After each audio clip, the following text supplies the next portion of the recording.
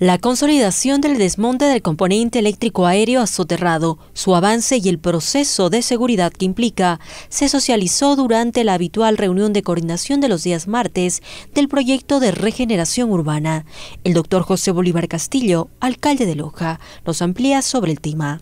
Vamos a poder levantar cablerías, los tallarines de cables, por lo menos ya inmediatamente de la primera y segunda etapa es la parte sur oriental y oriental del proyecto de regeneración urbana, lo cual permitirá que la ciudadanía pueda darse cuenta de cómo va a quedar realmente la ciudad cuando ya se saquen los tallarines de cables, esos postes horrorosos, transformadores, templadores de postes y todo eso que eh, son armatostes que no solo afean a la ciudad, sino que además tienen una fuerte peligrosidad desde todo punto de vista.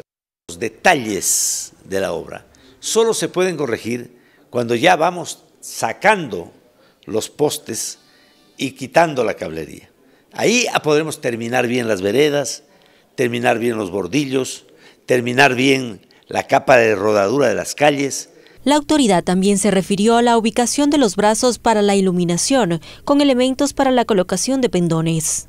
Entonces, por ejemplo, calle Bolívar, calle Sucre, calle Bernardo, las transversales, donde había pues estos brazos que salen de las paredes de las casas para colocar las luminarias, tiene que volverse a colocar esos brazos con un sentido decorativo, que además sirvan para poder colocar pendonería decorativa de la ciudad, ya en Navidad y en las fechas eh, cívicas, etcétera, ¿no?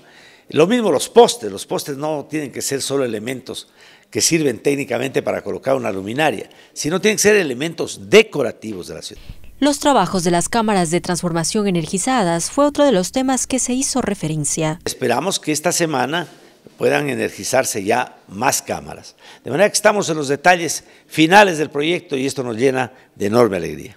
El burgomaestre, juntamente con el equipo técnico y fiscalización del proyecto, recorrerán las áreas del mismo verificando el avance y los trabajos.